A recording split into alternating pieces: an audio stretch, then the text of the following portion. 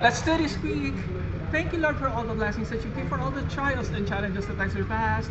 Shout out to my family in Bicol, headed by my mother, Febo, Rogusino, Alvebe, Chichen, and Kial. Shout out to all my first viewers who never get tired of my masterpieces. Thank you, thank you so much, each every one of you. And to all my silent subscribers out there, hi, hi, hi. To all my new subscribers for today, thank you, thank you so much, I have. And who else? Um, to all my 10 lovely countries. Philippines, United States, Indonesia, Canada, Saudi Arabia, Australia, United Kingdom, India, Japan, and United Arab of Emirates. Hi to every one of you. And to all viewers who are watching right now, thank you, thank you so much. And who else? Anyway, you know what, guys and gals? I'm gonna tell you a story. One of my clients confides in me. Sorry. Um, this last week that the reason why he was being absent because he take good care of their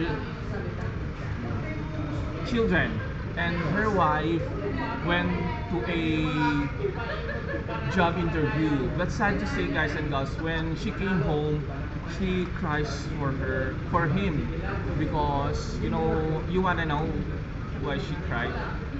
Well sad to say guys and girls her wife doesn't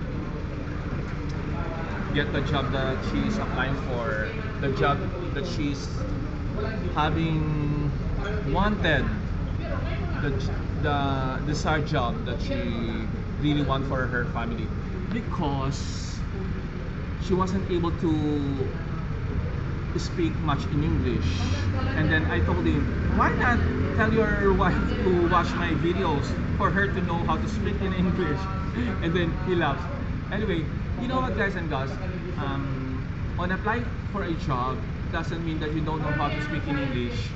For as long as you are confident, you are brave enough to answer all the questions, you can make a Taglish or if you want, you can tell the interviewer that, sir, I may not be, I may not be good in English, but I can help the company to grow.